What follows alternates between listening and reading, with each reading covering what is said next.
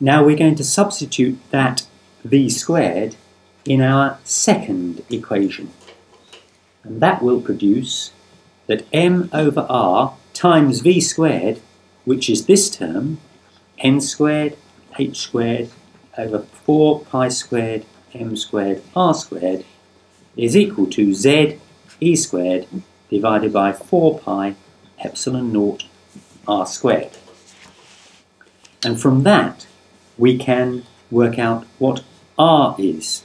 r equals m n squared h squared over 4 pi squared m squared times 4 pi over 4 pi epsilon over z e squared, which is epsilon naught h squared over pi m e squared times n squared over z. But this term is just full of constants and can be reduced to a single constant which we call a naught times n squared over z. And a naught is known as the Bohr radius.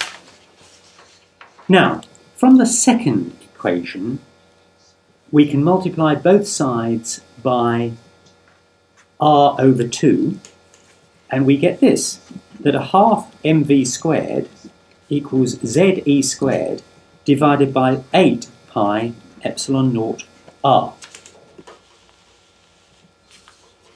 And we can substitute that value for half mv squared into the first equation, where energy is half mv squared, which we now know is ze squared divided by 8 pi epsilon naught r, minus the Coulomb term, which is ze squared over 4 pi epsilon naught r.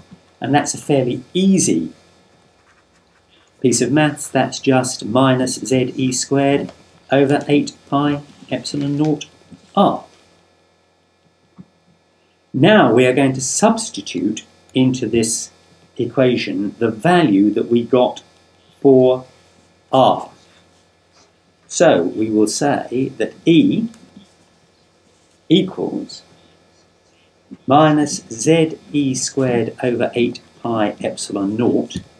And now we need another r, but instead of r, we are going to write pi me squared over epsilon naught h squared times z over n squared, which comes to a rather startling minus m e to the fourth divided by 8 epsilon naught squared h squared times z squared over n squared. But if you look, this term is just a constant.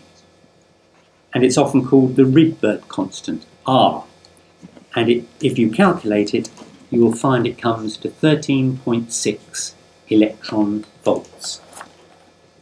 So what does this tell us? It tells us that the energy of an electron in a hydrogen atom can have only specific values of energy, which equals minus 13.6 times z squared, which of course is 1 for hydrogen, divided by n squared, and n is an integer.